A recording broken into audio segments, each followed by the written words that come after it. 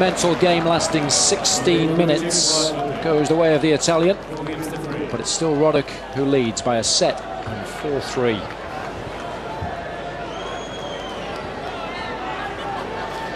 Well, that was a good game and one he simply had to win. Absolutely, certainly had to win it, and the way he went about winning it was much better.